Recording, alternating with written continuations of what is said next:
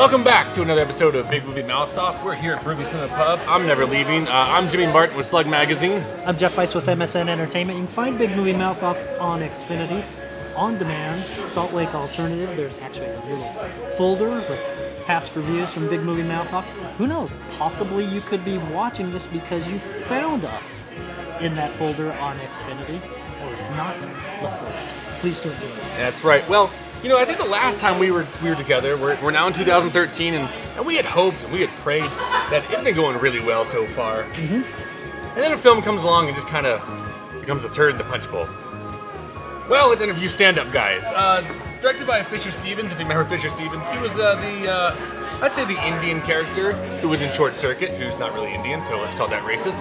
And in this little story that they're trying to tell, Al Pacino and uh, Christopher Walken are best friends. Al Pacino has just gotten out of prison, a 28-year sentence. He is released. Uh, Christopher Walken is there to greet him. He says, "What do you want to do?" Turns out Christopher Walken is actually there to kill him, uh, who has been ordered by a mob boss who hates Al Pacino's character Valentine, and says, "It is your duty to kill him by 10 a.m." So they have one last night for the boys to get back together. Alan Arkin joins the uh, the fun later into the film as their getaway driver, a former get- getaway driver, and basically this becomes a night of uh, Geritol and uh, needs a lot of sleep. I'm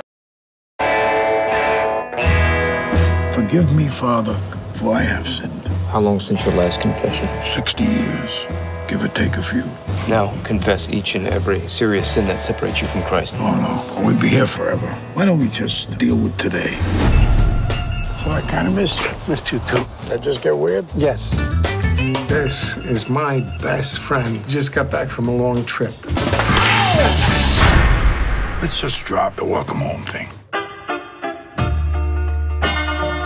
kill him by 10 o'clock in the AM, or you're dead too. So who's gonna do it? Do what? You know what? Come on, just say it. It's you. It's me. What do you want to do until then? So far, I stole a sweet ass car. Get down, man! A bunch of drugs. Nice. No drugs at the bar. It's prescription. I got the hypertension. But I did some good stuff too. Oh my God. I rescued my friend. Give me the key. There's no key. Give me the key. It's new. It's a button. It's automatic. You push the button. It's You- you push the button. computers. Oh, man, this is like the future.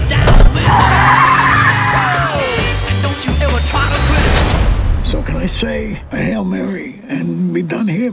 I don't think you can Hail Mary your way out of this one. You're right. Is it done? Working on it. They say we die twice.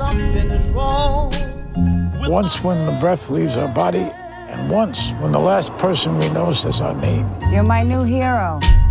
I've been away for a long time. I just want to dance with you. I will say this.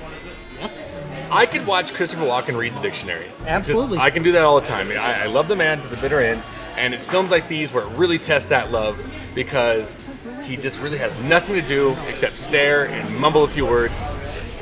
But I cannot listen to Al Pacino say one more syllable. I, well, and you bring up being entertained by small things. I also find myself often entertained by how bad Al Pacino's hairpiece will be in a particular film or his dye job. This film sorely tested that. Yeah. Sorely. And by the way, when you say fun, you mean not fun. By the way, this is supposed to be a comedy. Where's the laughs? I'm still I will say the waiting funny- for the Well, there was one good one. There was a good one when they're trying on suits, and Al Pacino does say, "I am not a 42 regular. I'm a 40 regular." Uh, no, sir, you're not. And that is a bald-faced Un- lie. un- unless it's the circumference of your head, in which case, yes, I believe that. Man, this film stinks. It's it's Uh, and- and- long and draggy. You know, what? it's supposed to take place one night. It feels like it takes 28 years. I felt like I was sitting in, in Al Pacino's prison prison and, sentence. and these are talented guys, and uh, again, people. Well, at- at two are least- still talented? Yeah, at, at least at Arkin and Walken, I enjoy seeing. yeah, Here's my suggestion: Walken was in Seven Psychopaths. Watch that instead. yeah. Alan Arkin was in Argo. Watch that instead. Al Pacino hasn't been good in years. Watch one of the older films of his. Or go on YouTube and look up his appearance on Letterman with his crazy hair and his befuddled appearance where it looks like he hasn't had his Geritol. This is, uh, like I said, directed by Fisher Stevens. It is clearly evident that this director has lost complete control of his actors, has no idea how to, to direct them.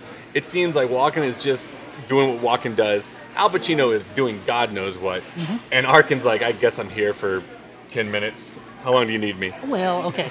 To be fair to Fisher Stevens and the cast, I'm not sure they had a script to work with because this thing just meanders all over the place. And you know what is the, the icing on top of the turd cake? Is an ending that is probably one of the most cop out endings I've seen in a long time. Probably next to Twilight Breaking Dawn Part 2 of, of cop out of endings. Um, I won't spoil it immensely, but Butch Cassidy and the Sundance Kid, you are not Yep. stand up guys. Thank you, thank you. I, was like, I, wa- I was like, really? That's how you're trying to end that? Like Butch Cassidy? Good luck. Good luck. I was furious when I walked out of this. Ugh. One star is just because I can just smile and watch Walken. And Arkin too. Ab- absolutely, and I think you're right on with that one star review. It's about as it's about as all there is. Yeah, I you know I just don't have much to say about a film that has so little regard for its audience and its cast. Why did this not just go straight to video? Uh, You've got three big names, I'll say that, but you know, Pacino is not the Pacino that we all remember. No, and he's not a box. Again, go see Chris Walken in Seven Psychopaths, Arkin in Argo. Pacino, who cares? Yeah, right? Who, who cares? He aligned himself with Adam Sandler. I think that forever diminishes him. One star. Well- hopefully, hopefully we'll have better films They, on the horizon. they all can't be winners, I'll say that. So yeah, but so they all can't be losers like this either. It's true too. But this is the first loser of 2013, Oh. and uh, that'll do it for this episode of Big Movie Mouth Off. Be sure to check us out on all of our endeavors, and we'll see you there.